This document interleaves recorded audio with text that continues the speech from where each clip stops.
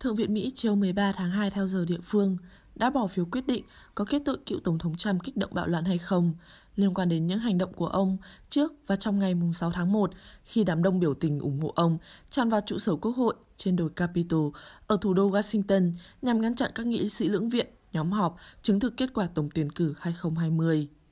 Với tổng cộng 57 phiếu thuận và 43 phiếu chống,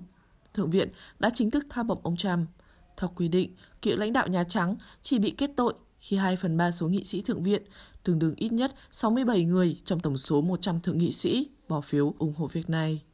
Trong phiên tòa lần này, 7 nghị sĩ Cộng hòa về phe Dân Chủ khi bỏ phiếu thuận gồm Mitt Romney, Richard Burr, Bill Cassidy, Susan Collins,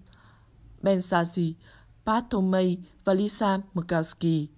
Tuy nhiên, con số này vẫn không giúp phe Dân Chủ hội đủ 67 phiếu cần thiết để kết tội Trump.